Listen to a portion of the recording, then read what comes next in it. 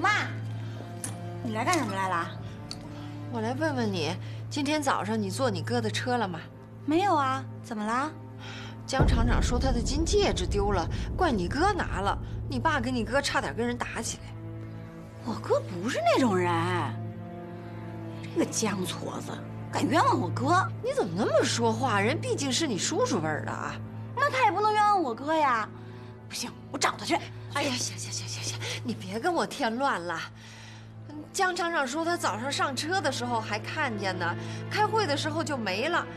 我就来问问你，你不是总说要坐你哥的大奔吗？你你看见没有啊？妈，你怀疑我呀？我没有，我就是问问。哎，我想起来了，今天早上我哥开车送何小西来的，是这个臭女人啊！我抽死她！我。你们看看想喝什么，我给你们点啊。何小西，金子，你来啦！哎哎，你干嘛呀？干嘛呀？拿出来。什么呀？何小西，我问你，你是不是拿了我哥车上的金戒指啊？我没看见什么金戒指。再编，拿不拿出来？我没拿呀，我怎么？哎，你过来！干嘛呢，金子？你别管了，妈。你这干嘛呢？哎妈呀！哎呀，干嘛呀？哥，这这些钱哪来的？这苏雅给的。放屁！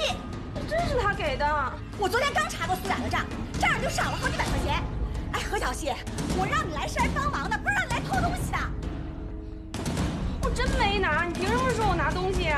还不承认是吧？我抽你！你说呀？没拿。你爸和你哥一个德行啊！你先跟苏雅打电话，问清楚了再打，行不行啊？哎呀妈，你不知道，像他这种人，必须得给他来点厉害的，他才能说实话。你你你打电话，先打电话，你快点把东西收起来，收起来。我打告诉你何小西，待会儿苏雅要说没给过你钱，你就惨了。真会报警吗？报警就报警，反正咱没拿，怕什么呀？是吧，刚子？嗯。妈，你不知道刚子最近表现可好了，老郝那人嘴多损呐，可是当着我的面夸刚子可是不止一次了。没准就是因为表现的太好了，他才遭人嫉妒啊。不管是怎么回事，反正警察来了就全都清楚了。进来，进来，进来！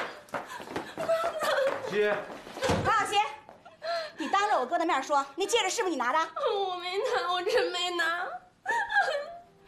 苏雅今天亲眼看到是我哥开车送你去的，我哥那车除了你跟江厂长坐过以外，其他就没有人坐过。不是你偷的，谁偷的？还有，你还偷人家苏雅的钱，你把我们老陈家脸都丢尽了。陈金，你别太过分了。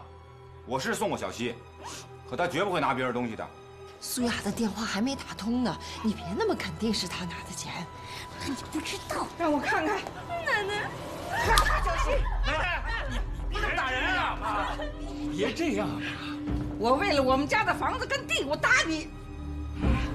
我跟你说多少回了，我不让你跟他在一起，不让你跟他在一起，你还偏跟他在一起，啊！你少受他骗了，这么坏的女人。那是过去的事情了。小西知道错了，已经改了。改了？刚才还说呢，他拿谁的钱了？苏雅拿苏雅的钱。就是，他改了吗？他改了。奶奶，奶奶，那是苏雅给我的，他给我的奖金，那不是我拿的。你还在这狡辩？金子，有话你好好说。爸，跟这种人有什么好说的呀？陈金，你说小西偷了苏雅的钱，你有证据吗？还有什么证据啊？我刚才搜钱哪来的。哥，他都骗过你几次了，你还信他呀？你脑子是不是进水了？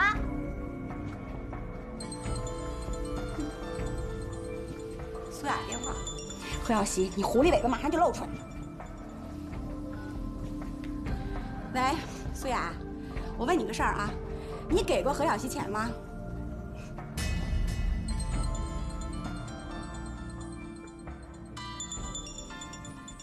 行，我知道了。哎苏雅怎么说？他说他是给过他钱。我就说是苏雅给我的嘛，他都不信。哎，你别来劲啊！这不代表你没偷戒指。行了，你说他偷过我们家的房子，偷过我们家的地，他为什么不能偷戒指啊？那戒指就是他偷的。对，偷这玩意儿上瘾，有第一次就有第二次。够了，有完没完啊？我还蹲过牢呢。你是不是咒我二进宫啊？刚子，大伙不是替你着急吗？才一直冤枉了小西。小西啊，别往心里去啊。金子，赶快给小西道歉。那戒指就是他拿的。行了，陈军，戒指是我拿的。你去报警，让警察抓我，我去坐牢，行了吧？你们都满意了吧？